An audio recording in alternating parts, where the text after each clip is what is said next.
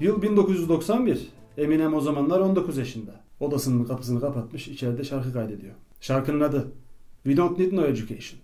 Hayır, eğitime ihtiyacım yok. Yalnız bu noktada bir araya girmek zorundayım. mi? Bu şarkı Eminem'e ait değildir. Bu şarkı Pink Floyd'a Şimdi ait. Kaan Bey ben sizin sözünüzü kesmedim. Siz de benimkini kesmeyin. Ha. Neyse şimdi bu oğlan içeride babası bunu duyuyor. Oğlum Eminem içeri giriyor. Oğlum Eminem ne var baba? Ne yapıyorsun? Eminem.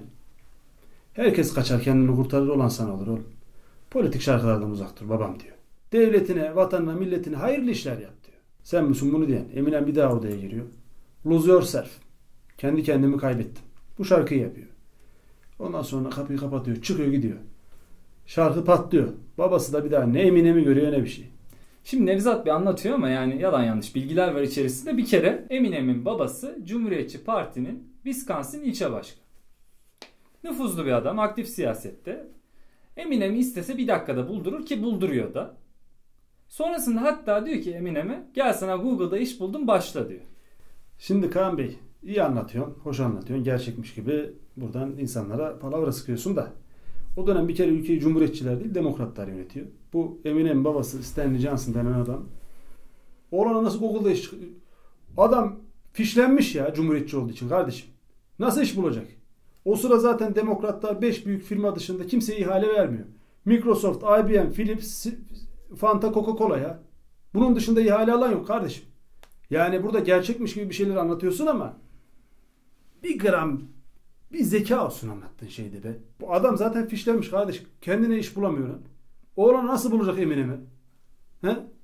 Ya şimdi gerçekten tart ikili tartışma olsun istemiyorum. Böyle karşılıklı konuşma olsun istemiyorum ama diyorsun ki bu adam fişlendi. Hani Eminem'i fişlediler. Evet. Bak kardeşim. Evet. Bu adam Grammy'yi almadı mı? Ha?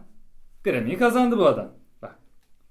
Bu adam Beyaz Saray'a çağırdılar. Devlet sanatçısı ünvanı vermediler mi bu adam? Ya bu adam Obama zamanında ki Obama demokrattır sen çok iyi bilirsin. Obama zamanında Turizm Bakanlığı buna iş verdi. Tanıtım filmini Eminem çekti. Bari benim başımı ağrıtma. Şimdi bilgi veriyormuş gibi yine oradan nereden bulduğun belli olmayan şeylerle tamam mı? Orada komik duruma düşürüyorsun insanlara kendini ya. 2000 bak bunu ilk defa burada açıklıyorum. Eminem 2020 yılının Mart ayında bir restoran açtı New York'ta. İçkili mekan. Ondan sonra buna ruhsat vermediler içki ruhsatı. Bu araya adam falan koydurdu. Neyse ruhsatı aldı. Sonra da devletin esnafa yaptığı pandemi desteğinden yararlanamadı Eminem. Ya şimdi Eminem donut sattı da devlet dükkanını mı kapattı?